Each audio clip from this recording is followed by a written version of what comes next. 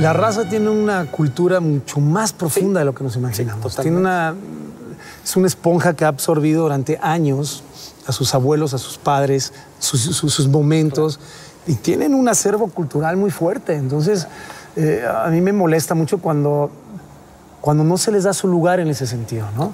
Entonces, este, lo acabas de decir, ¿no? Estás en un, concierto y ves la reacción porque hay información, hay conocimiento porque finalmente la música mueve emociones. Totalmente.